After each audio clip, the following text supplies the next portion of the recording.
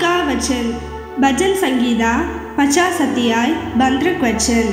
और संकट के दिन मुझे पुकारने तुझे छुड़ाऊँगा और तू मेरी महिमा करने पाएगा